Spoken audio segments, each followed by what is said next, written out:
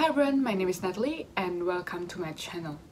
In this vlog, I'm going to talk about how game-based learning is so popular and beloved by everyone.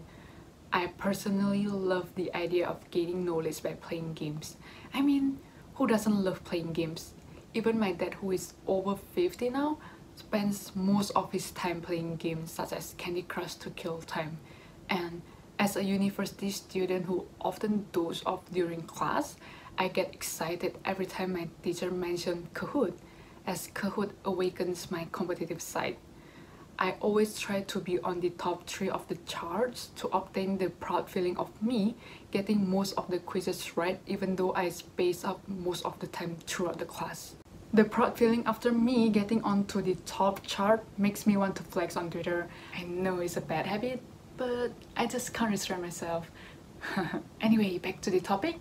Because of the gamified learning system, I unconsciously gain more knowledge and understanding about my learning material in a short amount of time.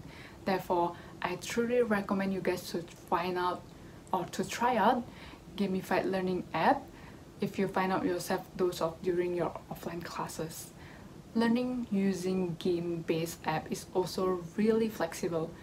People can study at their own pace, anytime and anywhere with no restricted time to assess the learning material.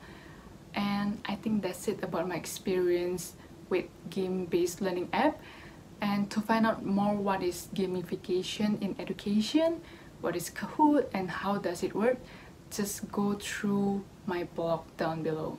And thank you. See you guys in the next video. Bye for your stars, you don't have to look so far. Watering the family tree, ever after happily. If the earth falls to the sea, in your arms is where